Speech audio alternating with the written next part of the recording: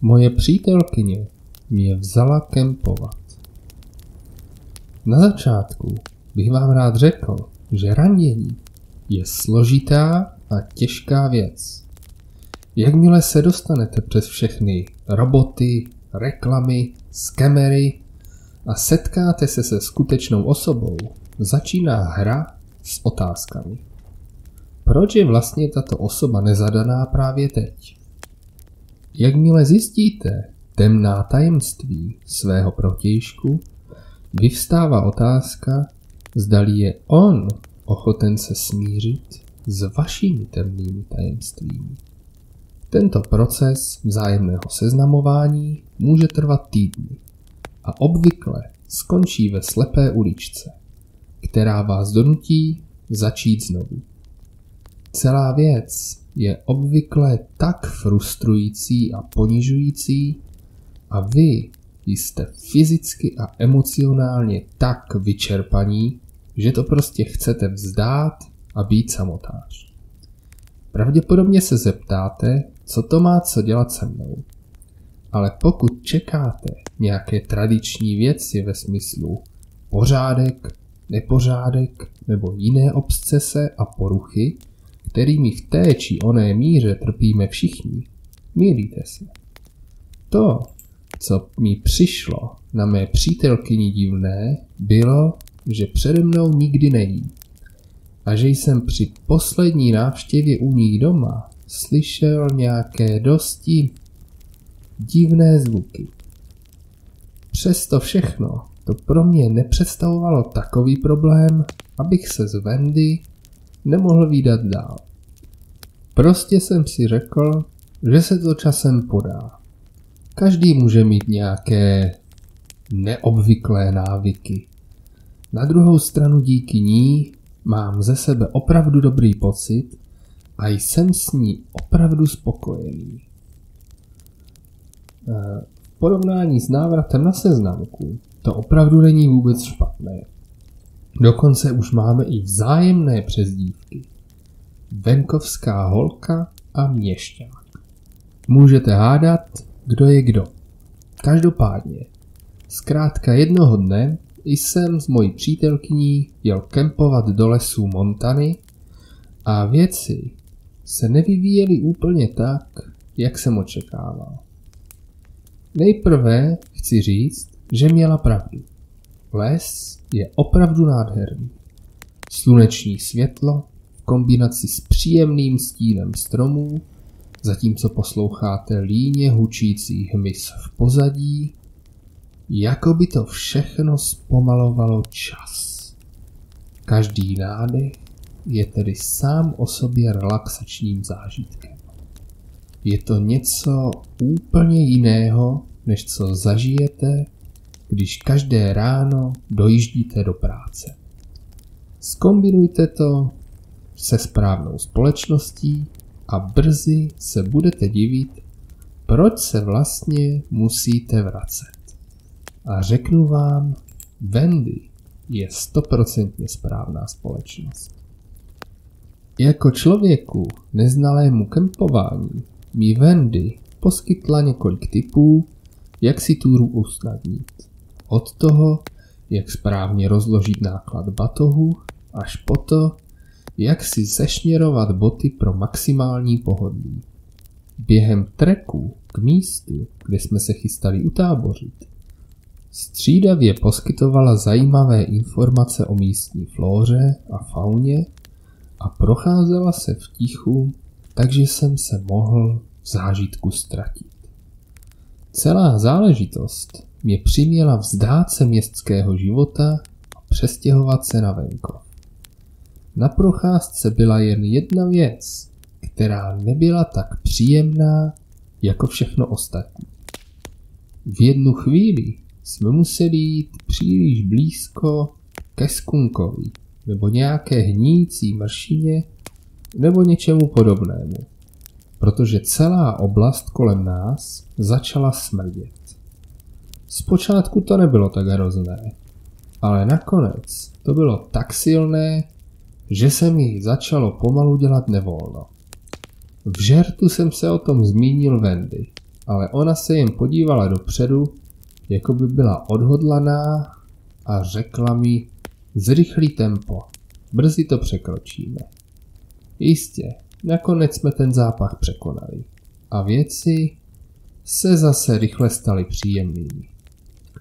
Zbytek túry proběhl bez incidentů a Wendy mi dokonce pomohla postavit stan. Její evidentní zkušenost v této záležitosti se projevila, protože to netrvalo dlouho. Za chvíli bylo vše připraveno a dokonce se u nás v táboře rozhořel pěkný, veselý oheň. Když tentokrát vytáhla zásoby k večeři, ani jsem nemrkl okem, když to zjevně stačilo jen pro jednoho. Ať se s ní už dělo cokoliv, takhle to prostě bude. Bylo na mě, jestli to přijmu, nebo si kvůli tomu začnu hledat někoho jiného. Ale musím říct, že na někoho, u koho se zdá, že nikdy nejí, ví moc dobře, jak upéct přímo dokonalý steak. Po příjemně stráveném večeru a ještě příjemnější noci jsme společně usnuli ve stanu při poslechu cvrčků a vzdálených so. Ale samozřejmě, kdyby to tímhle skončilo, tak bych vám to tady nevyprávěl. Někdy v noci jsem se probudil a zjistil, že jsem ve stanu sám.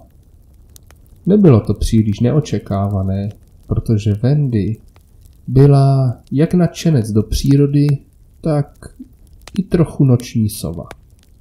Uvažoval jsem, že bych na ní zavolal, ale něco v atmosféře toho večera mi říkalo, že bych neměl rušit noční klid takovým nemístním zvukem. Matka příroda však měla své požadavky a nastal čas odpovědět na její volání. Když jsem rozepnul stán a vyšel ven, nemohl jsem si pomoct a podíval se na noční oblohu. Hvězdy byly dechberoucí. Tolik pulzujících bodů ve městě nikdy neuvidíte. Jejich krása je však tváří v tvář naléhavějším požadavkům nemohla nadlouho rozptýlit. Znáte ten pocit, když se zkrátka potřebujete vyprázdnit, dlouho to nejde a pak konečně zažijete úlevu. Nebýt mých dřívějších zážitků v noci, mohl bych být v pokušení tvrdit, že je to lepší než sex. Ale řekněme si, že to bylo stále dost euforické. Možná mě to v tom okamžiku odvedlo od skutečnosti, že všechny obvyklé noční zvuky najednou utichly. Ale nemohlo mě to odvrátit od náhlého zápachu hníjícího masa. Bylo to ještě silnější než na stezce. A bylo to doprovázeno takovým tím zvláštním pocitem strachu který obvykle cítíte, když jste velmi mladý a právě začínáte uvažovat nad tím, zda by mohly existovat nějaké noční příšery. Každopádně jsem se snažil rychle dokončit to, co bylo třeba a urychleně se vrátit zpátky do stanu. Jakmile jsem byl ve stanu, sáhl jsem po baterce a pak jsem zaváhal. Zoufale jsem chtěl vidět lépe, ale něco v koutku mé mysli mi říkalo, že je lepší zůstat schovaný. Samozřejmě nevím, jak dobře může být modrý stan uprostřed lesa ukrytý. Ale rozsvítit baterku by bylo jako aktivovat maják. Aby vše v okruhu pár kilometrů vidělo, kde se nacházím. Seděl jsem ve tmě, ani nevím jak dlouho, a cítil jsem, jak mi srdce buší v hrudi dostatečně hlasitě, že jsem si byl jistý, že cokoliv tam venku to jasně slyší. Naštěstí pak nakonec vyprchal. Ale i tak jsem byl tak nabitý adrenalinem, že jsem věděl, že zbytek noci už neusnu. Nebo jsem si to alespoň myslel. Následující den jsem se probudil z Vendy přitulenou k mé paží a jednou nohou a paží přehozenou před mě. A znovu byla úplně nahá. Teď jsem si docela jistý, že si před spaním oblékla nějaké pyžamo. Ale když se zavrtěla a já si dobře prohlédl tu její výstavní postavu, bylo mi to najednou úplně jedno. Nakonec se na mě líně usmála a promluvila. Spíš dobře, chlapče? Zdálo se, že se ti uprostřed noci zdají docela drsné sny. V té době tato slova dávala dokonalý smysl. Ve světle dne se zdálo celkem pravděpodobné, že cokoliv se minulou noc stalo, byl pravděpodobně jen živý sen, který přinesl zážitky z předchozího dne a neznámé prostředí. Po chvíli společně stráveného času jsme se rozhodli vstát a pustit se do dalšího dne v lese. Když jsem však konečně vylezl ze stanu, viděl jsem, že celý náš tábor je v nepořádku. Bylo to, jako by jim něco prošlo a rozházelo všechno kolem. Několik věcí bylo dokonce rozbitých. Po chvíli jsem zavolal, um, hej, možná by se měla na něco podívat. Když se Wendy plazila ze stanu, ušklíbla se. Musel to být medvěd. Obvykle tudy nechodí, takže jsem se jich moc neobávala. Myslím, že za to můžu já. Měla jsem vybrat nějaké lepší místo. Promiň. Medvěd. To dávalo smysl. Alespoň jsem si to říkal. Když jsme uklízeli, dokonce jsem viděl i stopy. I když při své neskušenosti městského chlapce bych řekl, že patřili psovi, ne medvědovi. Obrovský pes. Možná vlk. Ještě podivnější ale bylo, když jsem našel něco, co vypadalo jako otisky kopyt. Při pohledu na otisky jsem si uvědomil, že jelení musí být mnohem větší, než vypadají v televizi. Protože tyhle otisky byly více než dvojnásobné oproti mé ruce. O tom dní už není moc co říct. Dali jsme do pořádku tábořiště, posnídali, vyrazili na túru, udělali večeři a následovala noc s několika dalšími drobnými aktivitami. Mé myšlenky se vrátily k tomu, že jsem si výlet užíval. A to natolik, že jsem na předchozí noc z velké většiny zapomněl. Ale onoho večera nabrali věci trochu nečekaný spát. Znovu jsem se probudil uprostřed noci. Naštěstí jsem tentokrát nebyl sám, protože Wendy stále spala vedle mě. Ten smrad se však vrátil a byl silnější než kdy jindy. Bylo úžasné, kolik světla té noci ve stanu bylo. Musel být úplně, nebo alespoň skoro úplně, protože jsem jasně viděl, jak mezi námi a noční oblohou prochází stín velkého jelena. Až na to, že s tím jelenem bylo něco špatně. Na jelena to totiž bylo příliš vysoké. Jako by to stálo na zadních nohách. A když to otevřelo tlamu, rozeznal jsem dokonce spoustu velmi ostrých zubů. Nemohl jsem si pomoct. Cítil jsem, jak dýchám každou vteřinu silněji, jak se můj tep prudce zrychlil. Můj rozum se pomalu ale jistě začal vytrácet a začaly jej nahrazovat mnohem starší instinkty. Když jsem najednou ucítil, jak se Wendy pohnula. Při vzpomínce na přítomnost své podstatně menší přítelkyně jsem najednou pocítil touhu jí ochránit. Nemohl jsem přece dopustit, aby se jí něco stalo. Právě jsem jí chtěl říct, aby byla sticha.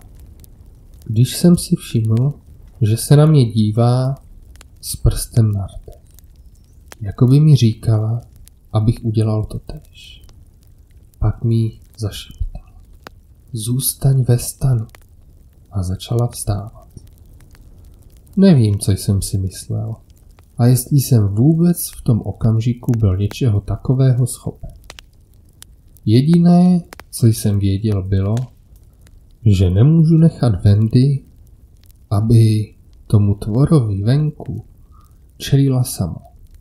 Takže jsem se natáhl a popadl jí za zápěstí, než mohla opustit stan.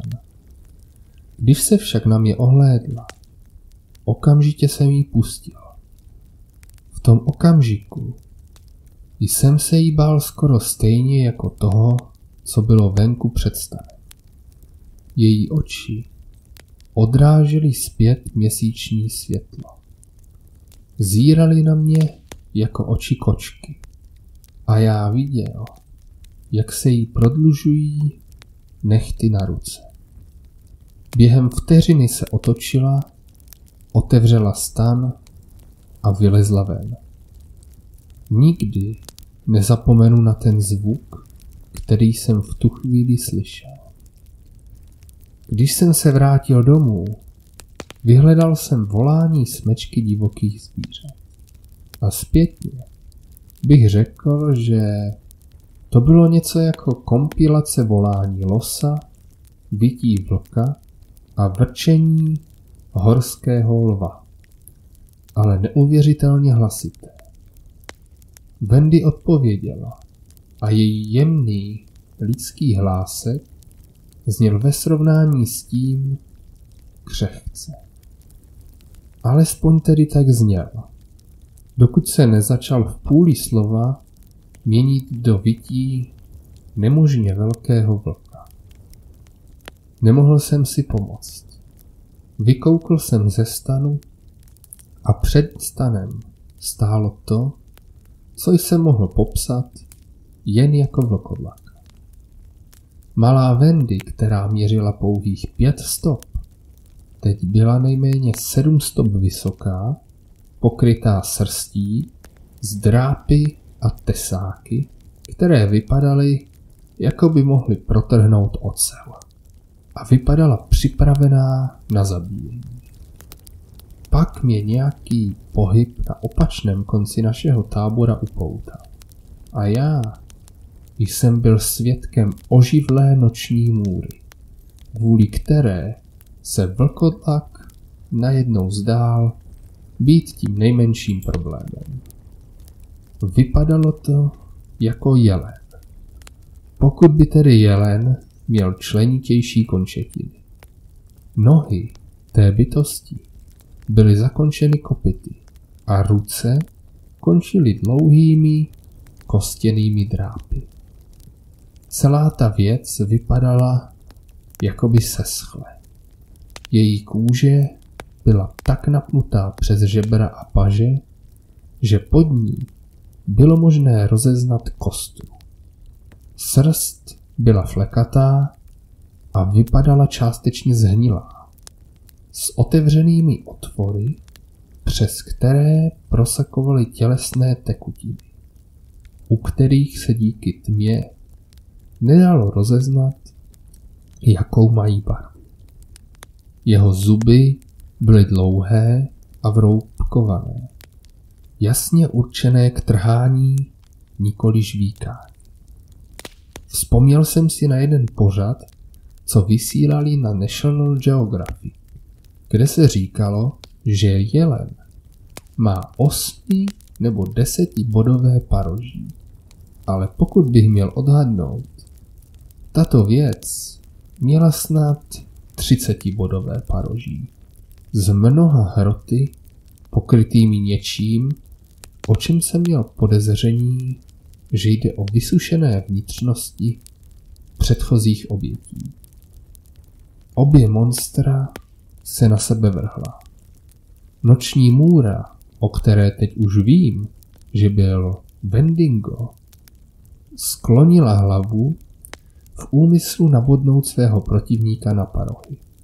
Ale v poslední vteřině se Wendy vrhla téměř na zem, jen aby raketově vyskočila a chytila se jeho dlouhého krku jejími silnými čelistmi. Zatímco její zadní nohy kopaly rýhy do jeho zranitelného žaludku. Zdálo se však, že Wendigo se nechtěl tak snadno vzdát a odhodil Wendy stranou. Dopadla tvrdě na zem a brzy na ní narazilo druhé monstrum. Zvedla paží, aby se bránila.